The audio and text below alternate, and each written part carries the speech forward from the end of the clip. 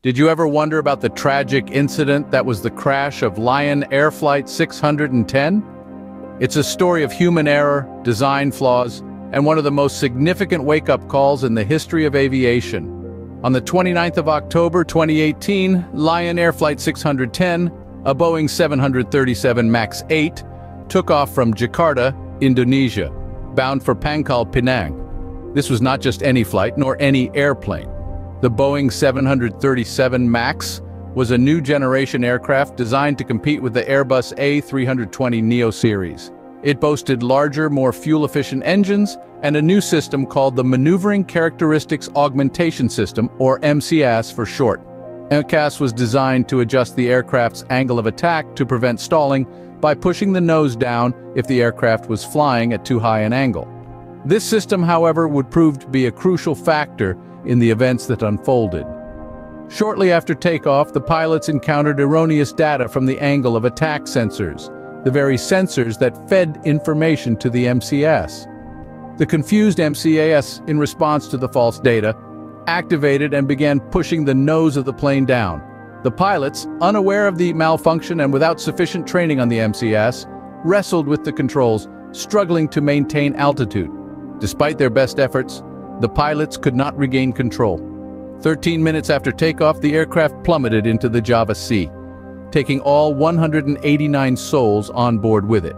The subsequent investigation revealed a tragic blend of factors that led to the crash.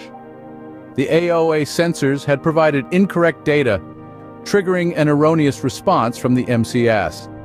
The pilots had not been adequately trained on the system, and Boeing had not provided enough information about it.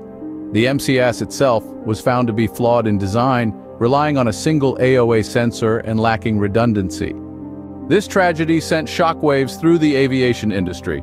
Criticism and scrutiny fell on Boeing for their handling of the MCAS and their communication with airlines and regulators.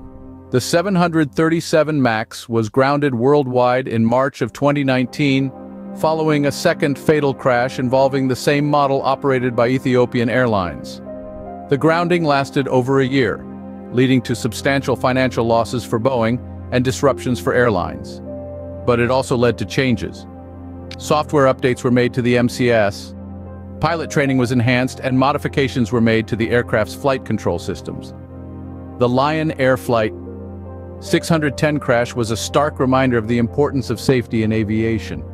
It led to a re-evaluation and reform of aviation safety regulations and oversight processes, with the aim of preventing such a tragedy from happening again. In conclusion, the Lion Air Flight 610 crash was a tragic blend of technical failure, inadequate training, and design flaws. It served as a grim reminder of the importance of safety in aviation and led to significant reforms in the industry.